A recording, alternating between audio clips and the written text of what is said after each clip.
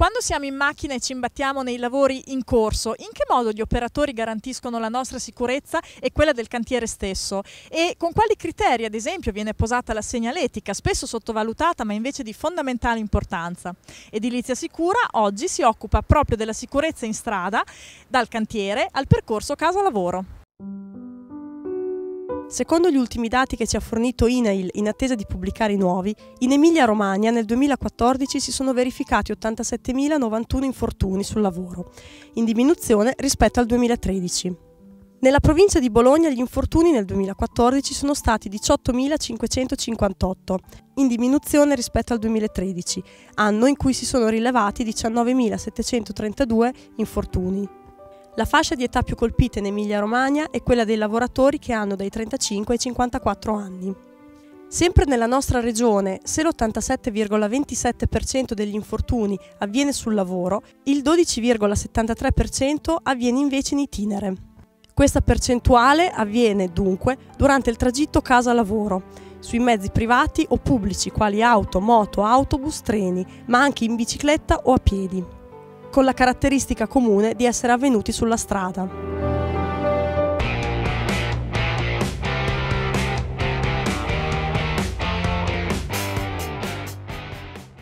Dottoressa Palmieri, quali sono i rischi più frequenti in un cantiere stradale?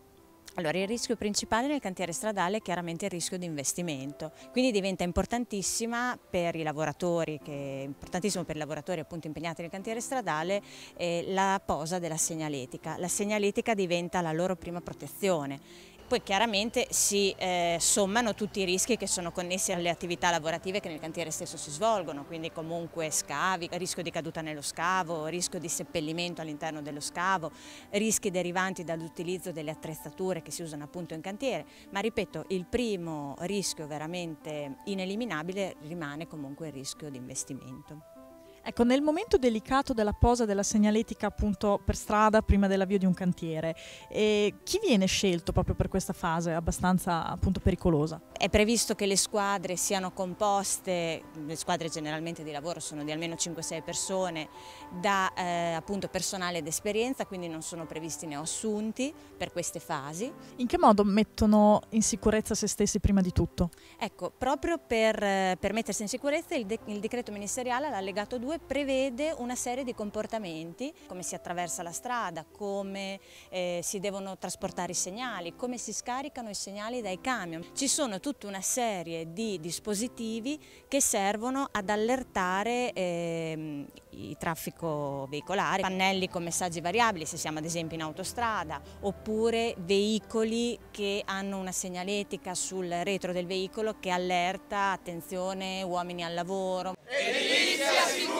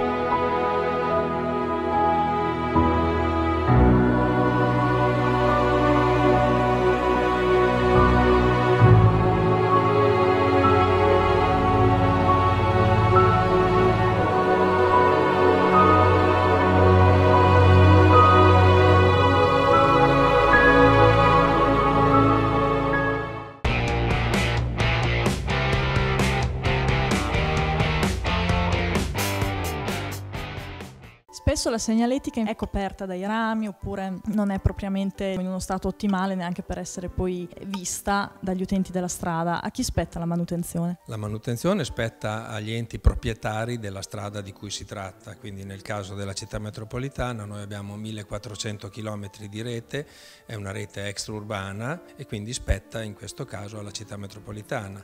All'interno dei centri abitati eh, la segnaletica in particolare quella di regolamentazione del traffico spetta invece ai comuni e ai sindaci che danno disposizione di, eh, con ordinanze proprie di uso del de, demanio stradale. Ricordiamoci abbiamo strade comunali, strade provinciali, strade dello Stato, strade regionali nel caso eh, non della nostra provincia ma eh, provenienti comunque dalla regione, quindi tanti enti competenti e gestori di strade che per l'utente eh, non, non rivestono invece un'importanza, è il risultato che conta. In Emilia Romagna, in particolare quella che è stata l'ex provincia di Bologna, è stata molto attenta alla manutenzione e quindi l'ha sempre fatta con personale proprio, con imprese esterne e con eh, possibilità di risorse. Queste risorse sono eh, estremamente calanti, quindi noi, eh, la sfida è quella di cercare, pure in una contingenza economica, di fare eh, quei servizi minimi indispensabili che eh, devono precludere eh, il rischio. Lo dice la parola stessa, manutenzione vuol dire continuare a fare degli interventi, una carenza di risorse porterà eh, e potrebbe portare invece a un degrado difficilmente recuperabile.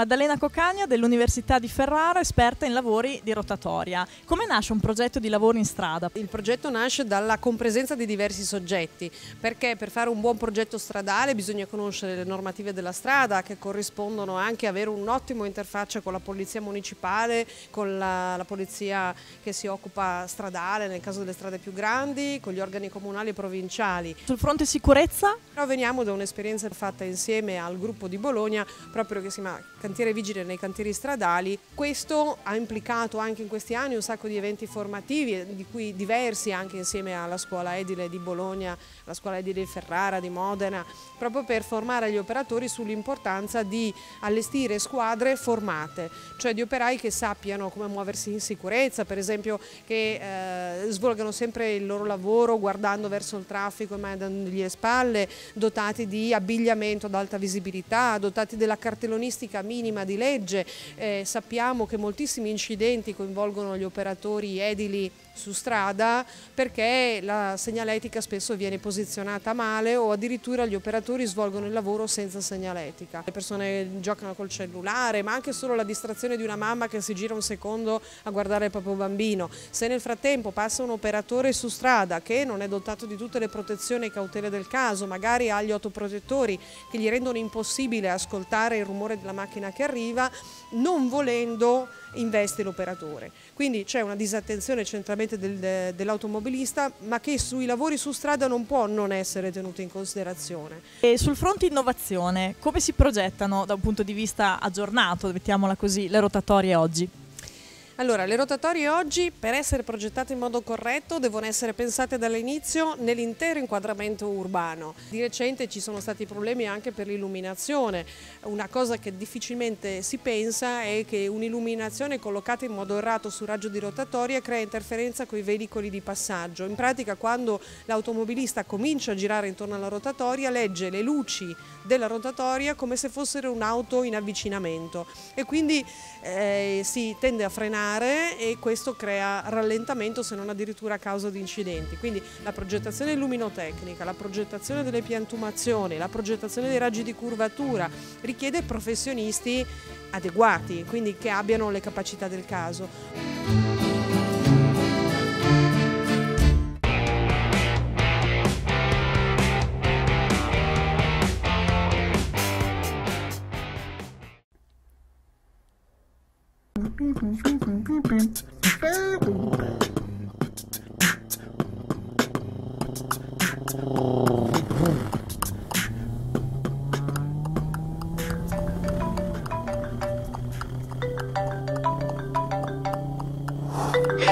Oui, allô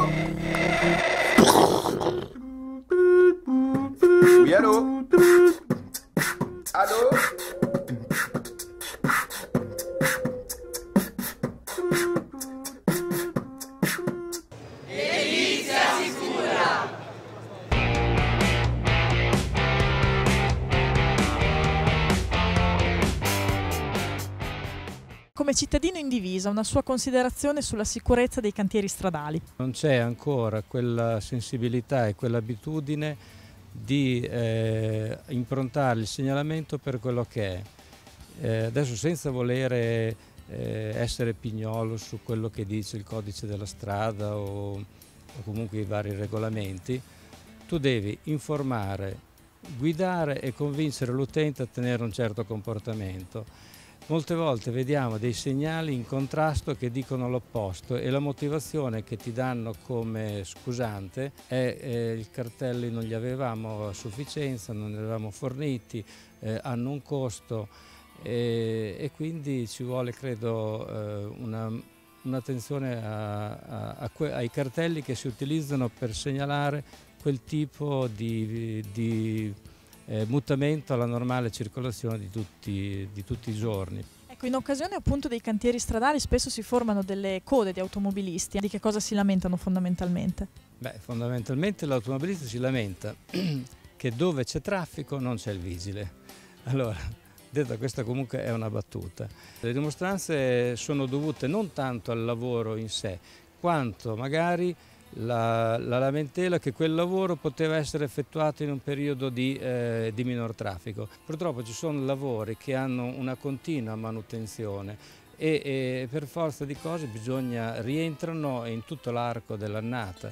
D'altro canto noi insistiamo ecco, agli operatori della cantieristica dicendo guardate quando ponete la, posate la, la, segnaletica posatela in modo che sia credibile, che corrisponda alla realtà, non mettete dei cartelli così a, a caso che eh, possono anche trarre in inganno perché è abituando l'utente alla credibilità della segnaletica che si può poi nell'arco del tempo, perché immediatamente non credo che sia una cosa facile, ottenere dei risultati buoni, positivi. Secondo lei a che punto è la formazione proprio sul fronte novità?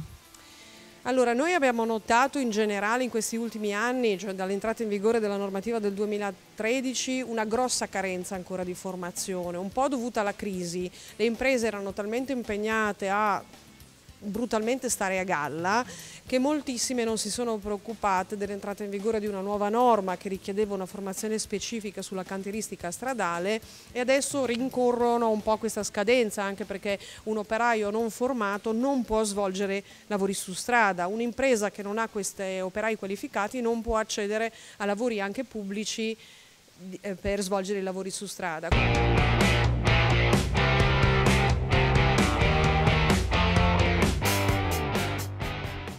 I cantieri stradali sono un ambito della sicurezza edilizia molto importante.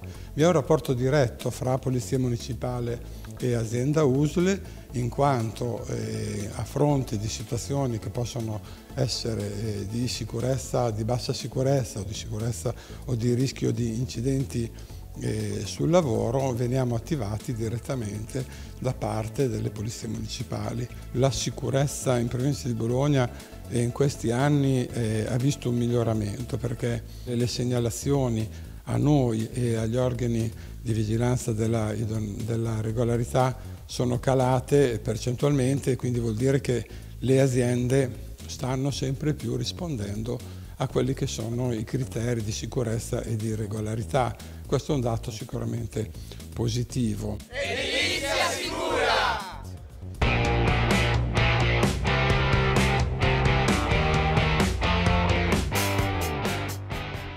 Il primo novembre è stata inaugurata la eh, rotonda Vigili del Fuoco caduti sul lavoro.